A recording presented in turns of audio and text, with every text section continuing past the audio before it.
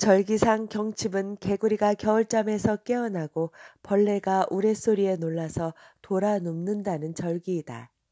경칩이 되면 삼남한상이 겨울잠에서 깬다는 속담이 있듯 농촌은 이때부터 하나의 농사 준비로 바빠진다. 할머니를 따라 뒷동산으로 냉이를 캐러 갔다.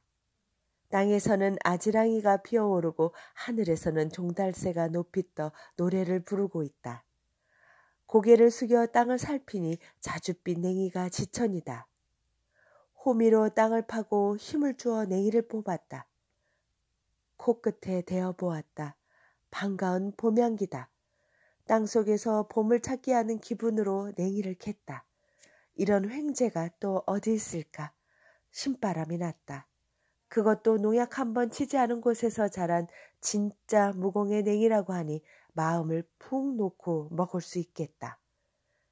냉이 손질은 뿌리에 붙은 흙을 털어내고 떡잎을 떼어낸 후 흐르는 물에 살살 비벼 씻으면 된다.